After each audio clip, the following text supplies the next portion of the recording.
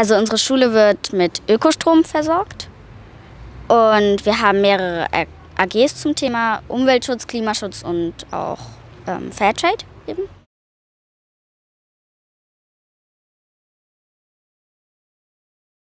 Also Nachhaltigkeit bedeutet ja einmal, dass man halt auf dieses Soziale achtet, dass man auf die Umwelt achtet und dass man auf die Wirtschaft auch achtet. Im Moment wird halt einfach das Soziale und die Umwelt sehr vernachlässigt und das ist halt das Problem. Auch mit den Klamotten, da wird ja manchmal sehr wenig Geld für viel Arbeit den Menschen gegeben und das finde ich einfach ungerecht, dass sie so viel Zeit verbringen dabei und dann so wenig dafür bekommen. Nachhaltigkeit bedeutet für mich, dass man die Ressourcen der Erde schont, zum Beispiel nicht so viel Rohstoffe benutzt, die man später nicht mehr recyceln kann.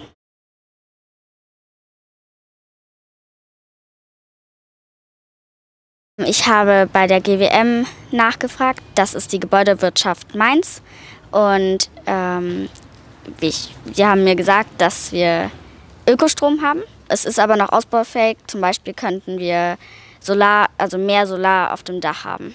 Wir haben zum Beispiel eine Fairtrade AG, die verkauft auch vor Corona, hat auch vor Corona ähm, Fairtrade-Produkte verkauft. Allerdings war immer nebendran noch der Kiosk und er hat zehnmal billigere Produkte verkauft und natürlich sind da viel mehr Leute hingegangen als zur Fairtrade AG.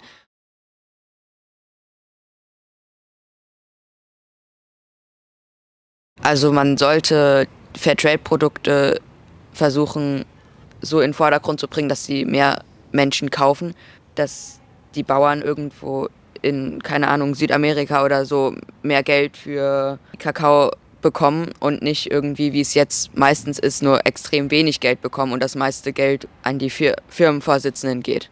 Natürlich mehr auf die Umwelt achten oder vielleicht also manche Familien können das ja nicht machen und zum Beispiel, wenn die Eltern weiter weg leben, dann können die ja nicht aufs Auto verzichten.